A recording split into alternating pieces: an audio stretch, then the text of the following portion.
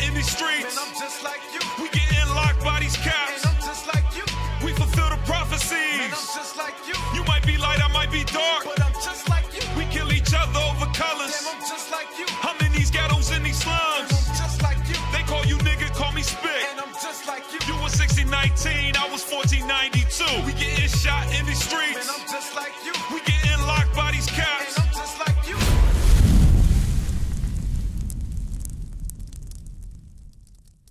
Welcome to FCN Quick News of the Day. I'm your host, Officer Judah, and in today's news, how Tyler, the creator, felt about Jaden Smith publicly calling him his boyfriend. Mm, read on. Jaden Smith's rumored boyfriend, Tyler, the creator, had his thoughts about their relationship going public. Mm-hmm. Smith has often shared his admiration for Tyler. The rappers have been close friends for several years and have, been, and have even collaborated on music together. However, fans might be wondering if Tyler was utterly uncomfortable with Smith's Utterly, multi- utterly comfortable. utterly comfortable with Smith's multiple reveals. Hmm? Re- jump down. Tyler, the creator, reacted to Jaden Smith referring to him as his boyfriend via Twitter. Go ahead. As someone who grew up in the spotlight, Smith has had his has had his fair share of romantic rumors.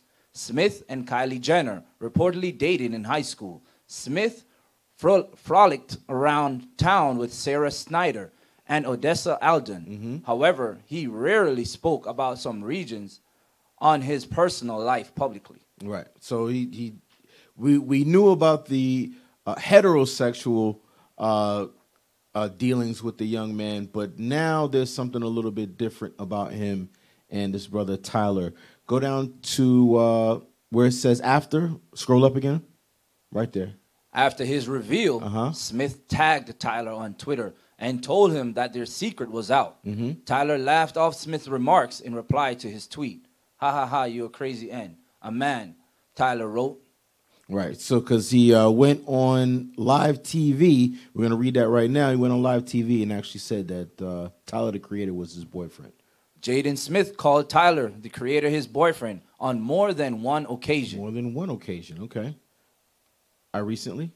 I recently said that Tyler, the creator, is my boyfriend, and that's true. Mm. Smith confirmed. So just so just so you know, Okay. Uh, scroll down. Both Jaden Smith and Tyler, the creator, have reportedly dated Kendall, Jen- Kendall Jenner. Uh, scroll down. All right. Read that last one. Uh, the, scroll up. Scroll up a little bit. Right there. Will, Wha- Wild Smith. While Smith and Jenner eventually squashed their romantic rumors and remained friends, the Keeping Up with the Kardashians star also reportedly dating Tyler in 2016 after photos surfaced of the two hanging out at the Grove in LA. Right. So these two dated basically, uh, or were rumored to date the same female. Read. Rumors swirled that Tyler was Jenner's new leading man. Mm-hmm. The stories caused a Twitter exchange between Tyler and Jenner, which seemingly confirmed they are just friends. At Tyler. At Perry. Tyler, At Tyler, apparently we're dating. Uh-huh. Jenner tweeted to Tyler. Uh huh. Not possible. We're both gay. So even uh, Tyler, the creator, uh, in trying to quell the rumors that him and Jenner uh, were dating, he openly admits that he's gay. Right. So let's see what the scriptures say about that. Give me Deuteronomy chapter twenty-three and verse seventeen. the book of Deuteronomy, chapter 23, and verse 17. Mm-hmm. There shall be no whore of the daughter of Israel, Uh-huh. nor a sodomite of the sons of Israel. because both Tyler the Creator and Jaden Smith are both Israelites uh, from the tribe of Judah. So God says that there should be no sodomites among his sons, the sons of Jacob. Okay, let's go to Leviticus chapter 20 and verse 13. The book of Leviticus, chapter 20, and verse 13. Uh-huh. If a man also lie with mankind, as he lieth with a woman, Mm-hmm. both of them have committed an abomination. So both have committed an abomination which is disgust to the Most High if a man lies down with another man as he does with a woman, as he should with a woman. Go ahead. They shall surely be put to death. Though God says that the judgment for homosexuality is death. Let's go to Isaiah chapter 3 and verse 9. Because in what we just read in this article, we are reading that the two of these young men were open about their relationship with each other. Okay? The book of Isaiah, chapter 3, and verse 9. Mm-hmm. The shoe of their countenance The show of their countenance, read. doth witness against them, It does witness against them. How? and they declare their sin as Sodom. Right. So they declare their sin as Sodom, their homosexual desires, which God says is a sin, an abomination. Read. They hid it not. They don't even hide it. So it's out in the open for everybody to see, so everybody knows. But God Himself says that thing is an abomination unto Him. Read. Woe unto their soul, So God says, Woe unto their souls, woe meaning distress or or destruction to their souls. Go ahead and get Isaiah chapter 1 and verse 9. the book of Isaiah, chapter 1, and verse 9. Uh-huh. Except the Lord of hosts had left unto us a very small remnant, So without the remnant of the, the men who go out and teach that the Israelites, the blacks, Hispanics, and Native Americans are the Israelites, and that we must keep God's commandments. If this didn't happen, if the Most High didn't send these prophets back out on the earth, what does God say would happen? we should have been as Sodom, and we should have been like unto Gomorrah. we would we would be just like Sodom and Gomorrah. We would fall into those same sexual uh, perversions and desires that led Sodom and Gomorrah to be destroyed. Go to Revelations chapter 11 and verse 8. The book of Revelations, chapter 11, and verse 8. Uh-huh. And their dead bodies shall lie in the street The dead bodies of the Israelites, dead spiritually, read. Shall lie in the street of the great city, Right. They will lie in the street of the great city Babylon, which is America. which spiritually is called Sodom and Egypt. So that spiritual city, that spiritual Babylon, uh, is called Sodom because of the sins of uh, openly gay marriages, openly homosexual and lesbian affairs, uh, and as Egypt because this is the place that we would also serve our captivity. Okay, is that it? where also our Lord was crucified. where also our Lord was crucified, being that it would be taught that Christ loves everybody, including the sinners, including those who commit homosexual acts. Go to 1 Corinthians chapter 6 and verse 9. the book of First Corinthians, chapter 6, and verse 9. Mm-hmm.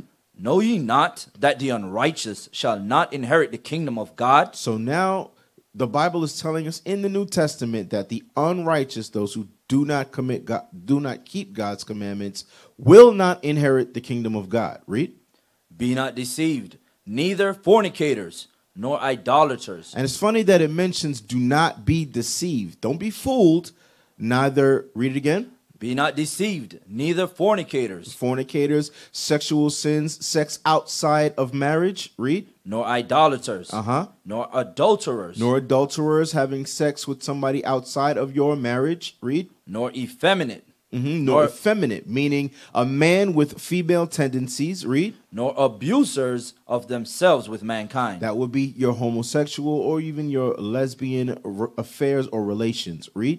Nor thieves, Mm-hmm. nor covetous, nor drunkards, nor revilers, Uh-huh. nor extortioners shall inherit the kingdom of God. So God says that all these who commit these sins will not inherit the kingdom of God. That is the word of God. Go to Leviticus chapter 18 and verse 22. the book of Leviticus, chapter 18, and verse 22. Mm-hmm. Thou shalt not lie with mankind as with womankind. So now we're reading in the law of God that man should not lie down with another man as he does with womankind. Uh, is that it? it is an abomination. God says, and it is abomination. Go to verse 29. Uh, verse 29. Uh-huh. For whosoever shall commit any of these abominations, Any of these disgusting things, read. even the souls that commit them shall be cut off from among the people. Right. So if these brothers are still uh, in these disgusting or abominable acts, they will not inherit the kingdom of God. Give me Sirach chapter 15 and verse 13. How does God actually feel about abominations? The book of Sirach, chapter 15, and verse 13. Mm-hmm. The Lord hateth all abominations, So God says he hates all abominations, all of them. Read on. and they that fear God love it not. And those that love God and keep his commandments and fear God, they don't love the abominations either. Okay? So again, these two young men are Israelites. They can repent from their sins. Uh, go to Acts chapter 13 and verse 38. The book of Acts, chapter 13 and verse 38. Uh-huh. And by him all that believe are justified from all things. So all those who believe that Christ is a black man, that the Israelites are uh, the children of God, that we must keep God's commandments. Read on. Verse 38 Be it known unto you, therefore, men and brethren, Mm-hmm. that through this man is preached unto you the forgiveness of sins. Christ is preached the forgiveness through Christ is preached the forgiveness of sins. Read it. Read and, on. and by him all that believe are justified from all things. And by him all are justified from all things who believe on Christ. That means we must be keeping God's commandments and repenting from those evil ways that we've been taught here in Babylon the Great, where the Bible calls Sodom and Egypt.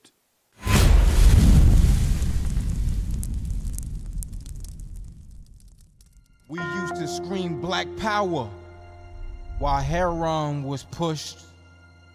But at the end of the day, nothing's in vain. IUIC has been given a vision. The tents of Judah has risen. Many has attempted the mission, minor murmuring, omitting, and missing the mark. Just reading that he had the flame of fire in his eyes gave us the spark. We on Paul's mission. We out on the road, purple and gold, from Mexico, Cuba, Haiti, Ghana, Sierra Leone. 144,000 boots banging, concrete crackling. These are our men repented at heart. The scriptures is proof. IUIC, we deliver the truth.